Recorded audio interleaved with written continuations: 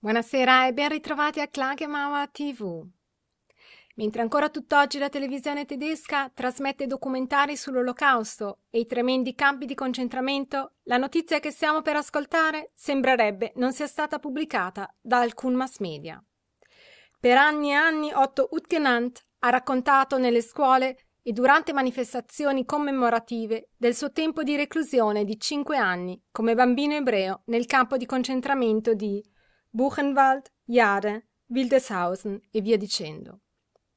Per decenni commosse studenti e insegnanti con le sue dichiarazioni, secondo le quali a causa dell'olocausto perse ben 72 parenti, tra i quali padre, madre e sorella. Ora però sono state eseguite delle ricerche da cui risulta che la famiglia Utkenant non è mai stata deportata in campo di concentramento. Padre, madre, sorella e figlio sono sopravvissuti alla guerra di Göttingen. Quindi Otto Utkenant, il presunto prigioniero del campo di concentramento, ha completamente inventato la sua storia di sofferenze. A sua difesa disse solo pare che abbia una buona fantasia e che ormai sono un bravo imbroglione e, in fondo, non l'avevo pensata male. Ad accuse più concrete ha rifiutato di entrare in merito, dicendo sono troppo vecchio per questo. Mi costa troppa fatica. Improvvisamente, dopo essere stato scoperto, non vuole nemmeno più essere stato ebreo e così i suoi delitti vengono ora spacciati come una bugia di un cristiano evangelico. Beh, allora si dovrebbero preparare i cristiani evangelici ad un'immensa ondata di disprezzo. E come procede la giustizia con questi falsi testimoni? E i mass media principali? Da entrambi sembrerebbe regnare il silenzio più totale.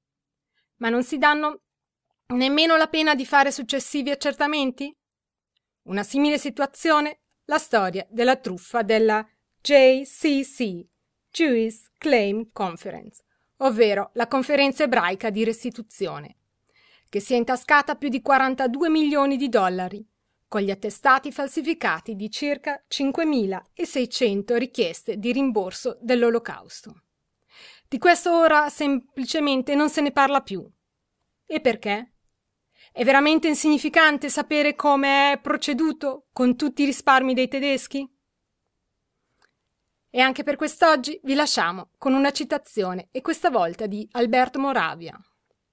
Dove mancano notizie, nascono dicerie. Care telespettatrici e cari telespettatori, il popolo ha diritto a voce contro voci, per cui aiutateci a diffondere le notizie di Klagemauer e consigliate il nostro link anche ad altri. www.klagemauer.tv Allora arrivederci a presto!